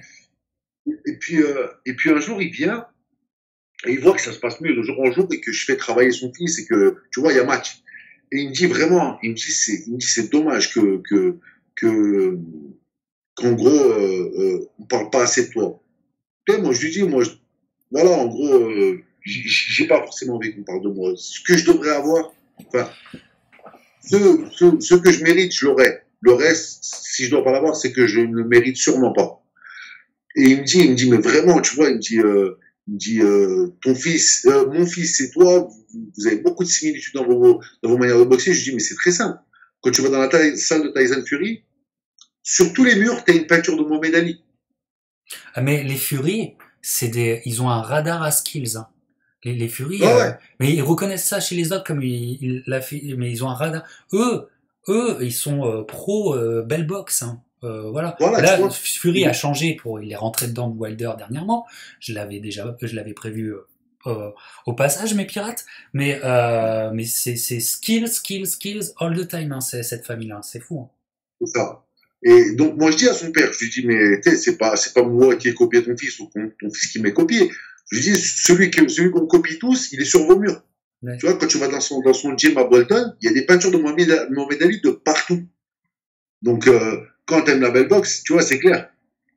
Et euh, comme je te dis, euh, je crois que je t'en avais parlé dans, dans l'épisode précédent, mais euh, euh, je crois que au bout de la première semaine ou de la deuxième semaine, Tyson il vient voir et euh, pendant l'échauffement il me dit, euh, euh, il me dit mais au fait ça se passe bien, t'as besoin de rien, tu vois vraiment bienveillant, une famille très humble. Euh, c'est vraiment pas ce qu'on voit euh, dans son trash talking. C'est des gens qui sont très humbles, qui savent d'où ils viennent, d'où ils viennent, pardon. Euh, c'est des gens vraiment. Moi, j'ai beaucoup apprécié la famille Fury. Et, et, et tu vois, bienveillant, tout se passe bien, il te manque rien. Je lui dis non, tout est ok, tout est. Et puis il me demande combien j'ai demandé par semaine euh, pour participer au training camp. Et moi, je lui dis le prix. Et puis il me regarde et il s'explose de rire. Et je lui dis mais pourquoi? Il me dit alors regarde, vous êtes cinq. Il y a toi, il y a Rico Verhoeven qui vient du K1. Oui, oui. Qui a un sacré nom aussi. Ouais. Ouais. T'as, t'as, t'as deux autres Américains qui étaient des prospects, des poids lourds. Euh, et puis t'as un dernier jeune de, de Nottingham ou je sais plus d'où en Angleterre qui est un mi-lourd. Alors il m'explique. Il me dit Rico, je le prends parce qu'il est solide, parce qu'il recule pas et que c'est un rock. Il me dit les deux prospects, c'est pour le style un petit peu américain. Tu vois, donc il me dit, c'est pas forcément des mecs qui vont coûter très très cher. Il me dit, le mi-lourd, je le prends pour la vitesse. Logique. Il me dit, mais toi, il me dit, il me dit, mais toi, il me dit, t'as remarqué, est-ce que t'es- tu sais pourquoi je t'ai pris? Je dis non. Il me dit, parce que j'ai vu ton combat contre Tepper. Je savais ce que tu valais. Et moi, même si tu m'avais demandé le double de ce que tu as demandé, j'étais obligé de te prendre pour mon training. Ah. Ah, j'ai dit, ah ouais, Ah t'es un merde. salopard. Ah merde. T'es un salopard. Il me dit, j'étais obligé. Il me dit, il me dit, tu sais boxer. Il me dit, t'as pas euh, une boxe stéréotypée comme la plupart des Européens. Voilà, tu, tu fais ton truc. Et j'avais besoin de toi pour ce. Et franchement, je l'ai pas mal pris parce que tu vois, le, le mec était beau joueur et c'était, déjà, c'était déjà, je crois que c'est le training camp où j'ai pris le plus d'argent pour te dire. Ok. Donc non, super euh, euh, avec Tyson Fury, non, super euh, super training camp, ça c'est euh, c'est vraiment super bien passé. Euh, euh, moi je savais, hein, sans sans sans faire le le- le- l'hypocrite ou quoi, moi quand il part pour euh, Gelsenkirchen, je crois que c'était le stade où ils ont boxé. À euh, Düsseldorf. Klitschko, Düsseldorf. Düsseldorf. Moi je savais qu'il allait gagner. J'étais persuadé qu'il allait gagner. Ouais. Parce que Parce que il avait pas peur, en fait. Sans parler des skills, sans parler des skills, quand tu regardes son entrée sur le ring, je te parle pas des conférences de presse, ni du way-in, je te parle pas de tout ça. Quand tu rentres, quand tu vois rentrer son ring walk, tu comprends tout. Hmm. Tu comprends tout. Le mec, il est peut-être devant 40 000, 50 000 personnes. Je m'en fous. Je vais battre votre champion. Et vous aurez rien à dire. Et vous serez même témoin. Ouais. Et dernier truc, Captain, par rapport à ce combat-là, dernier truc que les gens ne regardent pas forcément, mais que je pense, toi, tu as remarqué, la performance de Tyson Fury contre Klitschko, elle est juste énorme. Tu sais pourquoi? Tu veux que je te donne Les mon gens- avis? Euh, Je sais pas. Ouais, si donne-moi ton avis. Donne-moi Bah ton ouais, avis. j'allais j'allais le dire parce qu'il a, c'est des jambes incroyables pour un poids lourd et pour cette dimension de poids lourd. Le coup de, Ouais. le coup d'œil, euh, il a des jambes et surtout euh, il joue, su- enfin à mes yeux, il a joué sur un aspect de Klitschko qu'il a, qu'il a dû voir, c'est que Klitschko euh, cogite trop et que Klitschko il n'enclenche pas si tu le fais cogiter et fait exprès de le faire cogiter tout le combat et euh, enfin c'est mon analyse. Dis- Dis-moi ton regard. Je vais te dire encore plus, plus pointilleux que ça. Klitschko, c'était quoi son plus gros défaut, Captain Menton? Merci. Ty- Tyson Fury, comment il l'a battu? Ben, il l'a battu en, f- en- en lui faisant peur, en faisant cogiter. Le mec, le mec, Klitschko avait oublié qu'il avait des problèmes de menton pendant longtemps. Et je trouve que quand, euh, quand il est face à Fury, j'ai comme l'impression d'un Klitschko qui se souvient qu'il a un énorme problème de menton. C'est mon, c'est, tu vois comment je l'interprète. Et tu as tout à fait raison, mais je vais te rajouter un truc qui est encore plus bah, vicieux, c'est encore plus une torture. Parce que tu regardes sur le record de euh, Vladimir Klitschko, Vladimir Klitschko, il a jamais perdu au point, Captain. C'est vrai.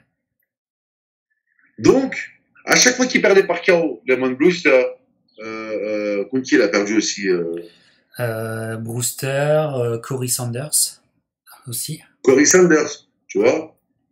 À chaque fois, on prétextait que son menton était mauvais, que c'était pas de chance. Non. Klitschko, très grand champion. Très grand champion. Champion olympique, champion du monde. C'est un des très rares à l'avoir fait. Très grand champion. Mais euh, non, il était juste au-dessus. Et la torture, c'était ça. C'est que je vais te battre, mec. J'ai pas trop. Mais t'auras aucune excuse. T'auras aucune excuse. On pourra pas dire que t'étais euh, euh, glass chin. Je vais te battre au point. Personne n'a jamais fait, moi je vais le faire. Ouais, ouais. Tu vois cette histoire? Et chez toi en plus. Le summum, je le fais chez toi.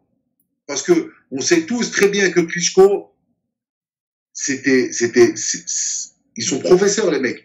Donc sur euh, euh, la psychologie, sur euh, sur euh, l'avant-combat, sur euh, le, le, le, le ring walk, ils jouaient sur tous ces aspects pour faire peur aux, aux adversaires. On est d'accord? Ouais. Le fait de monter, le fait de monter tous les deux, Vitaly et Vladimir tous les deux aussi sur le ring, c'était un aspect psychologique. Avec Vitali qui faisait un peu le bully, parce que c'est un peu un bully, Vitali, on, on l'oublie un petit peu ça. Hein il faisait le méchant. C'est ça, bien sûr. Mm. Et ben, Tyson, il est venu, il les a battus, il est parti, détendu, et il a fait ce que personne n'a fait.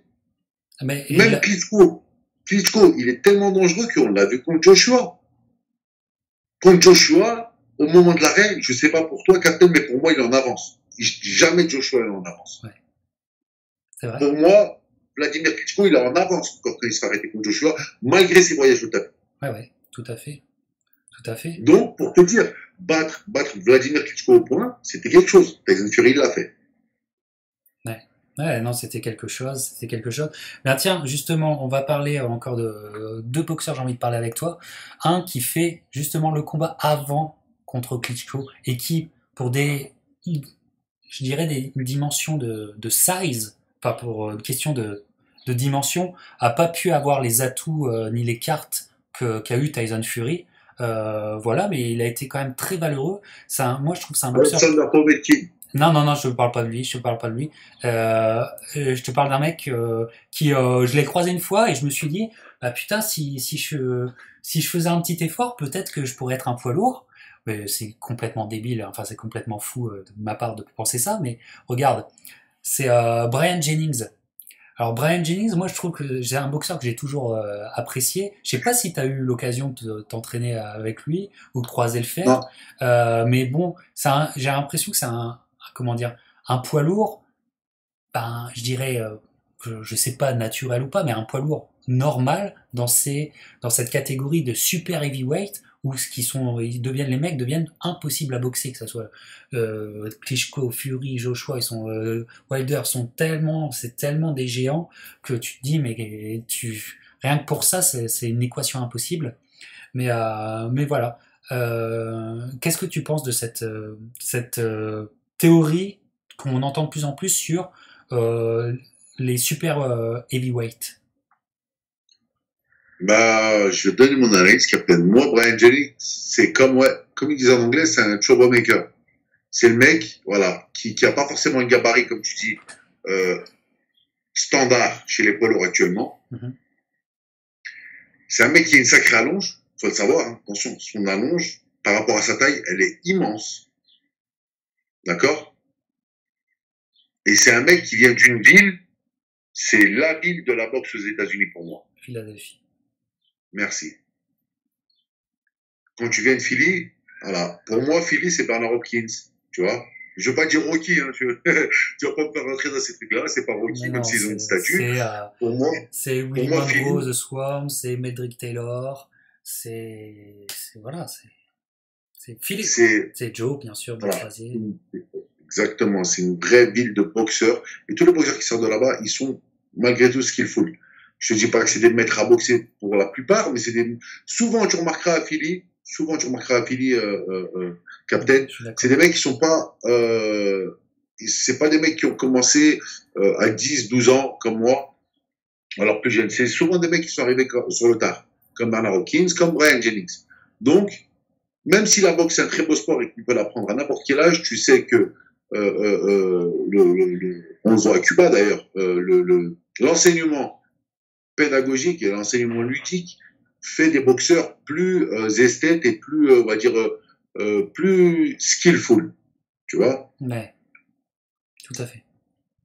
Le truc, c'est que Brian Jennings, il a tiré son épingle du jeu parce que d'une, comme tu dis, c'était pas un, un, un heavyweight hyper grand, lourd ou pas mobile. Bien au contraire, c'était un mec qui était pas hyper grand, mais assez mobile et qui avait une, une, une, aisance technique et, euh, des déplacements qui étaient quand même pas dégueulasses. Ouais, pas, pas dégueulasse. Euh.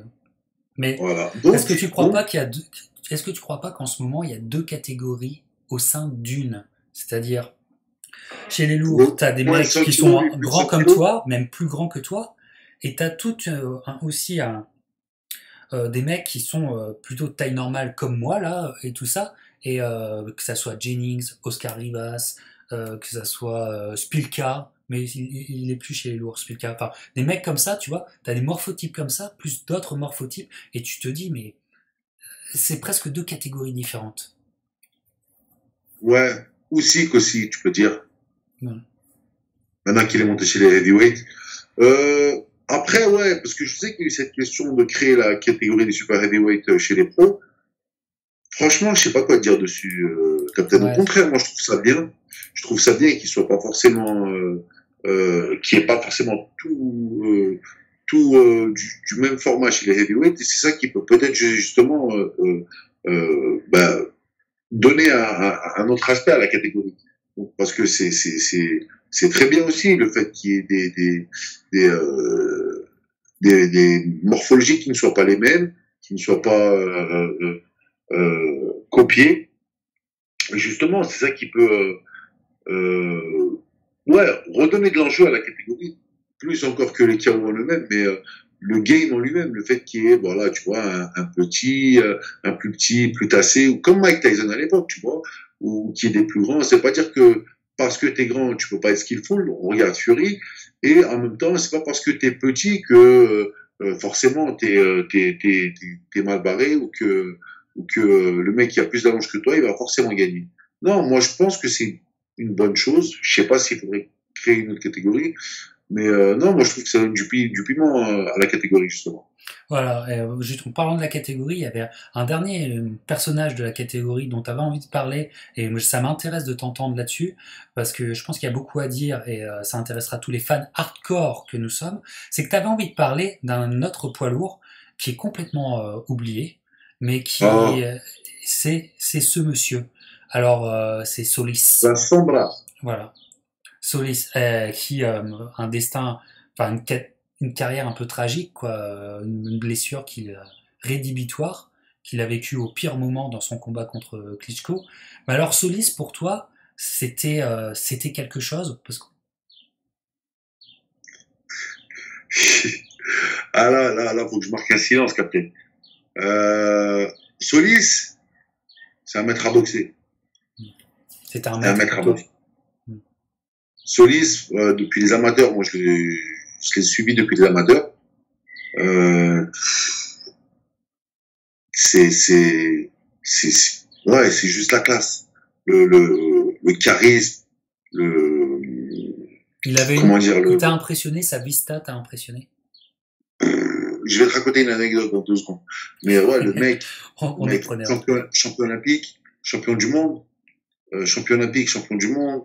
Euh, tu regardes sa finale, juste sa finale du championnat du monde amateur contre David Hay en 2001, tu comprends à qui t'as affaire. C'est vrai. Le mec, il prend un uppercut dans le premier round. Et l'uppercut, je crois, il vient de, je sais pas d'où il, d'où il l'a sorti, David Hay. Il est, cherché, il est parti le chercher au, au fin fond des océans. Il lui met un uppercut à la David Hay, parce que c'est un coup, euh, c'est le coup de David Hay. Il lui met l'uppercut et tu vois la tête de Solis qui part, t'as l'impression que elle va se décrocher la tête tellement. Et, euh, il finit par arrêter David Hay en amateur. Au final, le championnat du monde amateur, il finit par l'arrêter au troisième round, je crois. Arrête l'arbitre. Derrière, il fait champion olympique. Ah, il il se passe prend- pro. Ouais. Il passe pro. En pro, il s'amuse. Il bat des mecs comme Montebarret, des mecs qui sont quand même euh, assez classés chez les heavyweights. Ouais, il les bat avec, euh, à un moment, c'est il ça, il les bat, il les bat avec une main. Tu, tu vois, tel mec, euh, et moi, ce qui- m'a, ce qui m'a toujours euh, plu chez, chez Solis, c'est sa nonchalance. Sais, qu'il est monté sur le ring, Mm. il tirait une tête, euh, ouais, bon, je suis là, quoi, je fais mon truc et je me tire. Et ça, j'ai énormément kiffé. Ouais. Donc, il arrive au championnat du monde, WBC, contre Vitaly Klitschko. Et Vitaly Klitschko, capitaine, comme tu le sais, c'est pas Vladimir.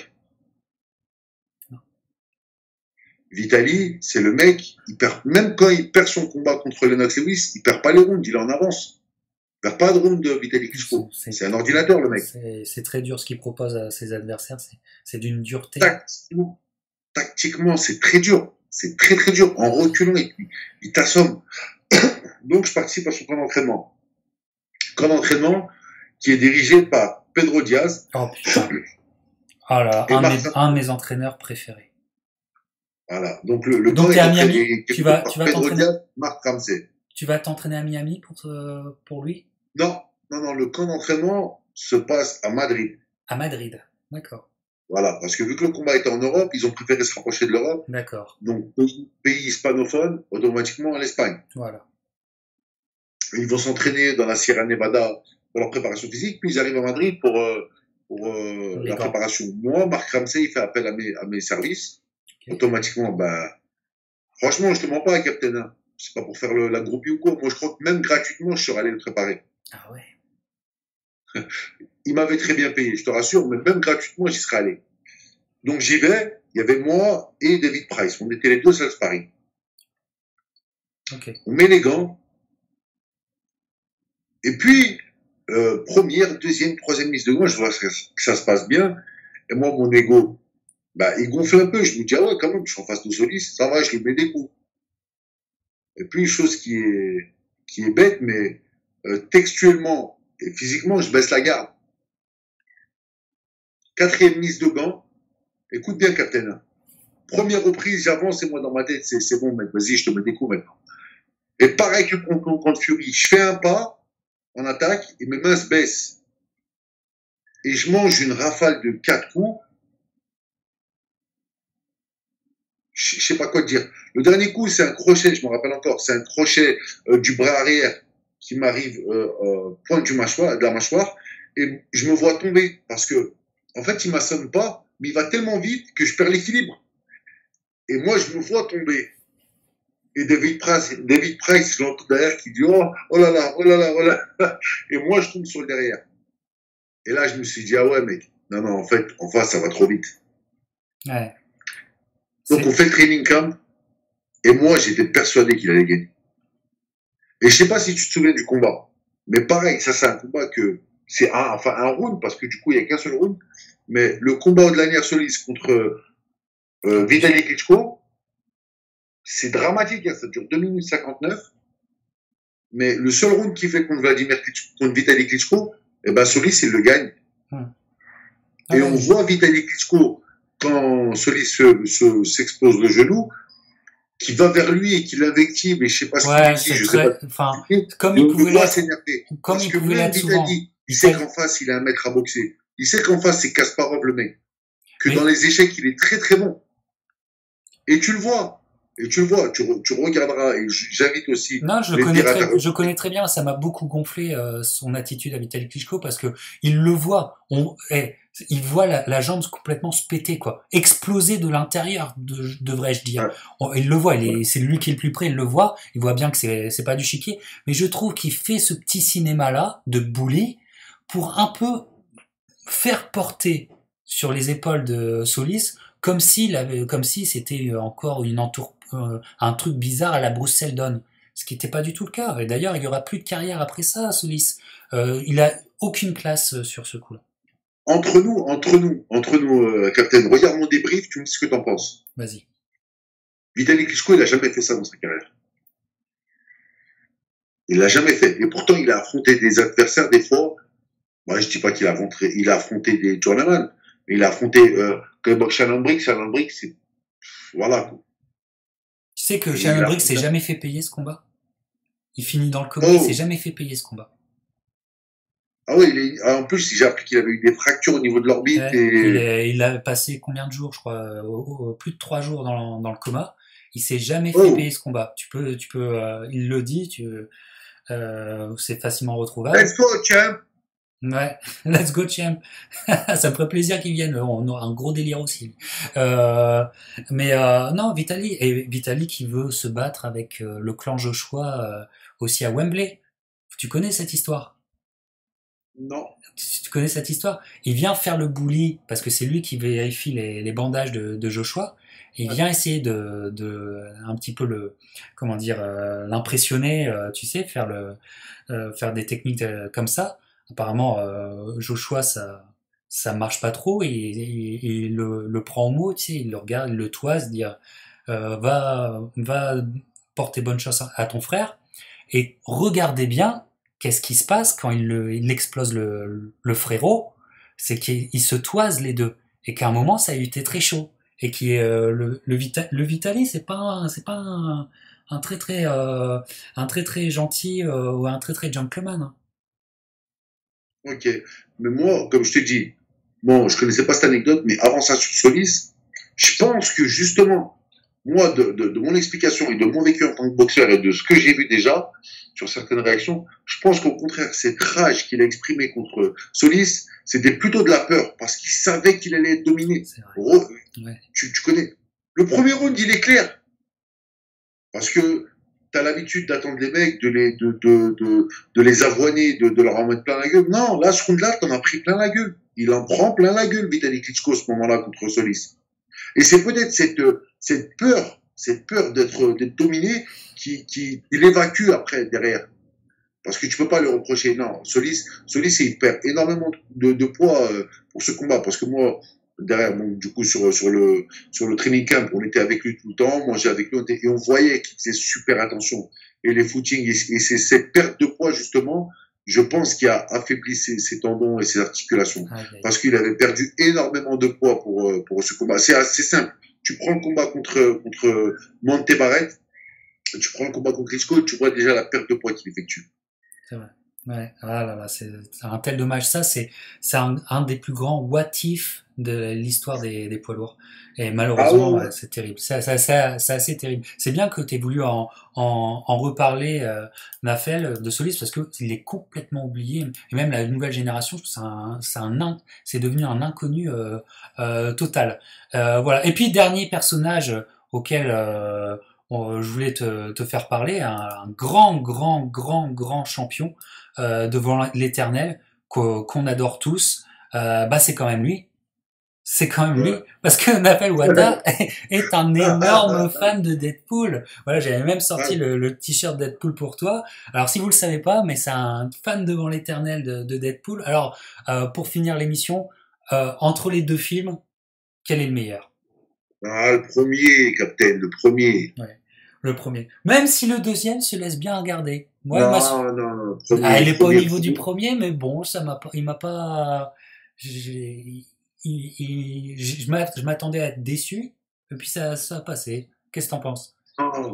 Euh, tu parles du deuxième ou du premier? Euh, Je parle du deuxième. Le premier, il est au-dessus. euh, Ah, je suis ouais. d'accord.